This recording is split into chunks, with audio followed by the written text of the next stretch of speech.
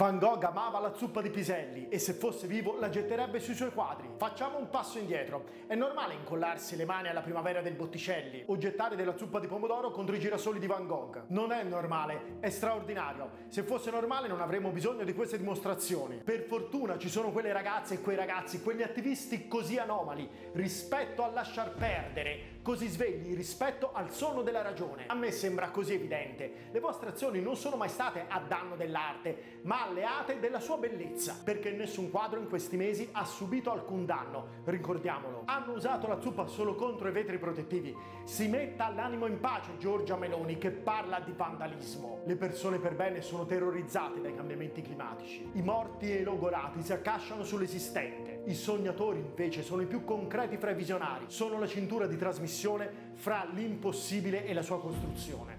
Grazie ragazze, grazie ragazzi.